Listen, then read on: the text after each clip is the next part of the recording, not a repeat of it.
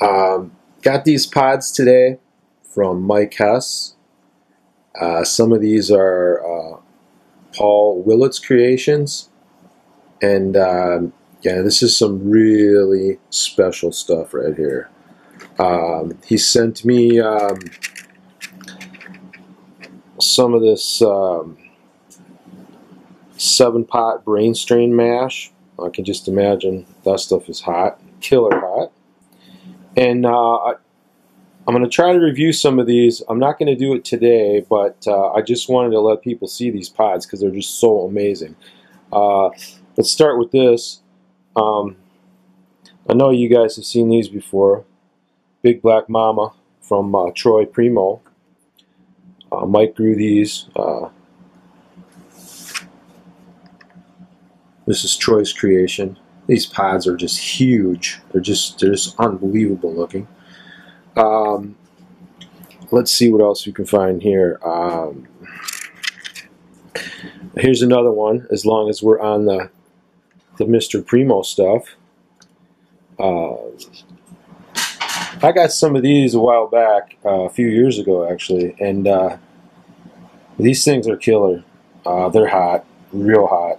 Uh, they're, as far as I'm concerned, they're one of the hottest peppers out there. Um, really good work uh, on the creator's part, Troy Primo. And obviously, um, Mike put a lot of work into growing these because you can just, they're, they're, huge. Look at them. Look at them compared to my hand. I mean, they're, they're huge pods. All right. Um, next, we want to do the uh, Kraken. This is a Kraken F3, very nice looking pod. And this is a Kraken F1. The F3 is bigger, uh, very nice. I'm probably going to try to review one of these the next few days. Uh, now Paul, he has got some very unusual stuff. Um, Here's a Orange Primo times BOC, Bhut Orange Copenhagen. Same thing. Look at this pod. It, it's as big as a Big Black Mama. Just huge pod. Uh, I don't know what it tastes like, but I got a feeling it's hot and it's a killer. And uh, this one here is uh, really special. Uh, I think Mike said this is the only one ripe that, that they know of that's in the States right at the moment. So uh, you know, I'm honored to get my hands on this. Uh, this is probably the first one I'm going to review. That's also a nice size pod. Uh, just look at this thing, unbelievable. And that is uh, Bhut Orange Copenhagen times Reaper. All right. Um, you guys have been seeing these, I know. Uh, I did a review on one of these from Stephen Kennedy a while back the uh, Red Borg 9. Uh, the ones Mike grew here, again, they're they're just huge. Nice and firm and huge. Real nice stuff. And uh, he's also got the chocolates. Um, you know, the quality and the size of these pods is, you know, unmatchable from what I've been, the pods that I've been getting. Uh, these things are just fantastic. Let's look at them. And uh, there's a couple more in here. Um,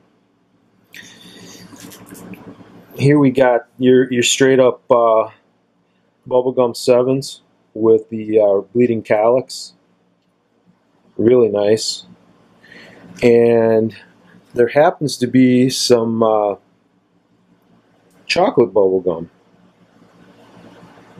very, very interesting. And just so you can see it, uh, I want to bring in a pepper from another guy. This was grown by Stephen Kennedy. Uh, this is the yellow bubblegum 7. Uh, Nigel Carter just did a review on this uh, yesterday, I believe. Uh, this is this is quite a pot also, uh, just to kind of give you an idea of what they all look like. And We've got a couple more crosses here that are pretty unique. Um, let me get these out.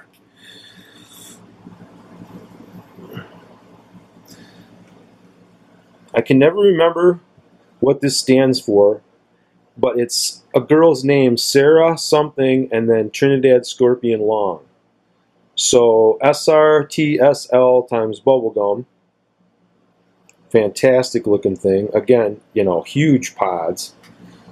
Uh, this is the same. Bleeding calyx. It's fantastic looking. And uh, then I believe this was her original. The uh, Trinidad Scorpion Long. I think there's a couple of these. Yeah, this one, this one here, this this one has the, I believe the proper shape of what people are looking for. Uh, it's just another fantastic looking pod. And uh, that's about it for Mike's Peppers, uh, with one exception. Uh, he sent me this crazy uh, chocolate brain strain. Uh, I'm not sure whose seed this was or where it came from, but again, it's just a giant pod. Um, yeah, I don't know. I don't think I'm going to eat that one. I think that's a killer. I don't know. We'll decide here in the next couple days. I want to review some of the ones that uh, really no one knows very much about first, and then I'll go on from there. Um, all right. Thanks much, Mike, and I uh, hope you guys enjoyed getting a look at some of these uh, really, really cool pods.